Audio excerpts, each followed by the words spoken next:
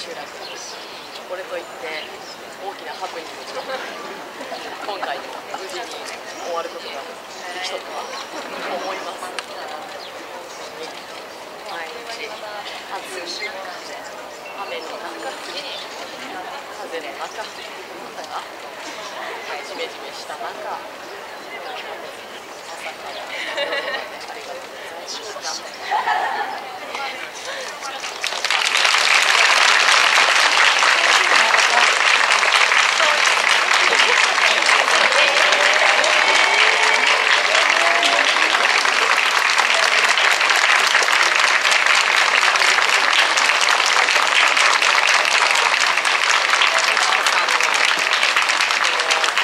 元はディナーショーだったこういう形でやらさせていただけて非常に幸せでした私もここだったら4人しか見られないよ30人出て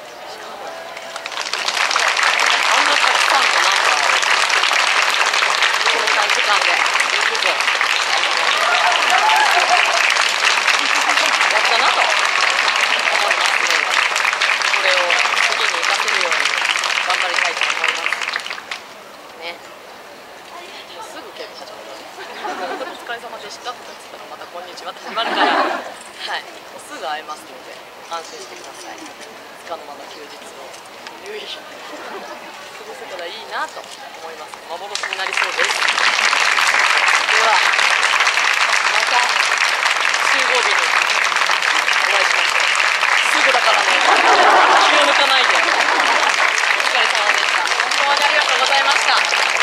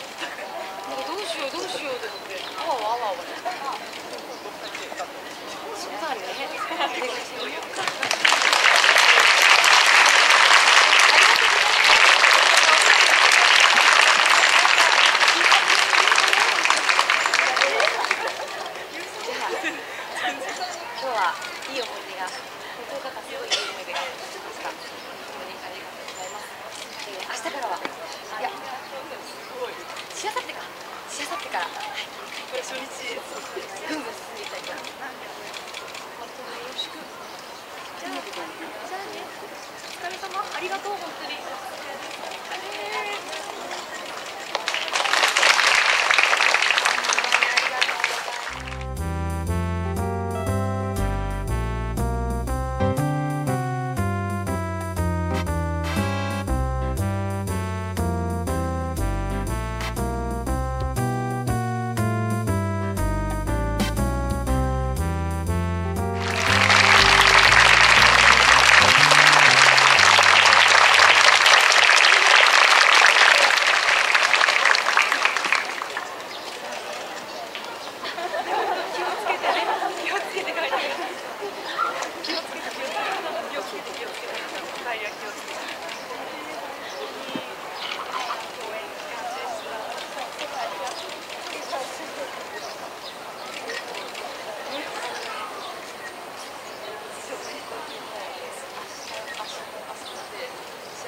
集合ですけども、ね、また新しいりを見ていただい、